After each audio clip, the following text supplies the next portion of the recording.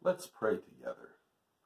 Heavenly Father, we're grateful for the opportunity today to come together to worship you through technology with friends in many different locations. We thank you that you are with us at each of those locations because you are with us and in us and among us, and so we thank you for your presence today. Lord, give us ears to hear your word. Holy Spirit, open our ears, open our minds and hearts so that we can receive what you have for us today and to apply it and to understand it and to and to glorify you in a greater way. And so we ask your help as we look to your word now in Jesus' name. Amen. Well, friends, it's a strange new world that we seem to be entering. The coronavirus has changed so much. Restaurants and gyms and many other businesses are closed. People are laid off. One fifth of Americans are now unemployed. And for more than seven weeks, we have been socially distancing ourselves from one another, wearing our safety masks. Several weeks ago, I went to the grocery store and I had my baseball cap on, I had my glasses on, I had my safety mask on, and the rubber bands that went behind my ears were too tight, and so my ears were sticking out like this. And I saw a lady from Brook Hill. I said, Good morning. She said hello and she just kept going. I don't think she knew who I was. So this is a strange new time into which we have entered. A lot of us are able to work from home, and grandparents are learning how to use Zoom and FaceTime to love on their grandchildren and to get hugs from a distance, and that's a good thing. We haven't had physical services at Brook Hill there in Yellow Springs for eight or nine weeks. But the good news is, in this, one of the pieces of good news is that the people of Brook Hill have been faithful in your tithes and offerings.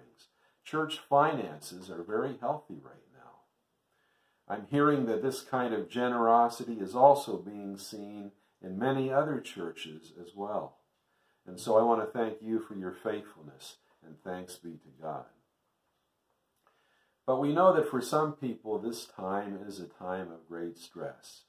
Not just fear of catching COVID 19, but financial stress. And marriages and families, some of them are struggling. People forced to live in close quarters under one roof day after day after day. And it can be difficult. And so uh, there is emotional stress, in some cases, loneliness and uh, struggles perhaps with alcohol and addictions. I don't want to overstate this, but things will not be the same as we come to the end of this crisis. Some aspects of life may be changed forever, and things will be different at Brook Hill for some time to come. It may be that for a while only 50 or 100 people can be in our building at one time. Almost certainly we'll continue to have church online as we have begun to do, and there will be both the online service as well as the physical service there at the Four Corners in Yellow Springs. But we'll need to be sitting apart, somewhat apart from each other as we worship. We will not be passing the offering plate for 100 people to touch in a service. We will have to be looking for the most hygienic way to share the bread and cup of communion. It won't be wise to shake the pastor's hand or other folks' hands or to hug people, and that's going to make things difficult for many of us. Some of us will perhaps want to continue to wear masks for a while, and I certainly understand how senior citizens may be reluctant for some time to even come to physical church. So, in many ways, we seem to be entering a strange new world. Think with me for a minute about the scripture that Shirley Pritchard read for us several minutes ago about Joshua in his book in the Old Testament. The Israelites had been freed from slavery in Egypt, and that was great. But then they spent 40 years wandering in the desert. But finally, the time came for them to enter the land of Canaan, the land that God had promised them At this time, Joshua was their leader. He was a godly man. He was the leading general in the Israeli army and the leader of the nation. The land that they were entering would have seemed to them as well like a strange new world. They knew that it was agriculturally rich. The expression came to be that it was a land flowing with milk and with honey. They had seen that grapes grew phenomenally large there in Canaan. But there were people already living in Canaan, and some of them seemed like giants to the Israelites. Some of these tribes worshiped false gods who demanded that some of their children be offered as sacrifices in the fire. And many battles would need to be fought before the Israelites could live safely in Canaan. The night before they entered the land, God spoke to Joshua in the scripture that we read. He said, Be strong and courageous. The Living Bible puts it this way Be strong and brave, for you will be a successful leader of my people. The message translation says it like this All your life, no one will be able to hold out against you. In the same way I was with Moses, I'll be with you. I won't give up on you. I won't leave you. Strength, courage. You are going to lead this people to inherit the land that I promised to give their ancestors. Give it everything you have heart, and soul. And friends, I believe that God's word to Joshua several thousand years ago is a word to each of us today. God is saying to us, be bold and be strong. We could read that scripture from the message and apply it to ourselves. All your life, no one will be able to hold out against you. I will be with you. I won't give up on you. I won't leave you. God is saying to us, as he said to Joshua, have strength, have courage, and uh, give it everything that you have, heart and soul. God is telling us that he will be with us in this time and beyond this time. The God of Israel is our God as well. He is the master of the universe. As the song says, he is our waymaker. He will make a way for us as we venture into uncharted territory. As the song says, He is our miracle worker. Who would have thought that the dark cloud of coronavirus would provide the rain of even greater abundance to carry out God's work in Frederick? It's really a miracle in a certain kind of way. And the song says, God is a promise keeper. He does not lie. God does not bait and switch. What God says, he will do. God is faithful to his word. Won't he be with us when we're forced to do things differently at church? Yes, he will be with us. Won't he be with you in whatever you're struggling with today? He is certainly with you even at this moment. He is dealing with you in your heart and in your mind. He is there with you, either living in you or certainly there knowing fully what is going on in your life and wanting you to welcome him into your life. He is there for us today. And God will be for us a light in the darkness. He will provide everything, everything that we need today and in all of the days to come. Won't he be with you in your hour of darkness? He will. God will continue to help you. So be bold, be strong, for the Lord your God will be with you wherever you go. And you need to say right now, Amen. Thank you. In the early church, God used persecution to spread the good news of Jesus. Kathy Moore read this scripture for us from Acts several minutes ago. The number of believers in Jerusalem had multiplied. There were at least 5,000 Christians there in that city, probably more. But persecution broke out.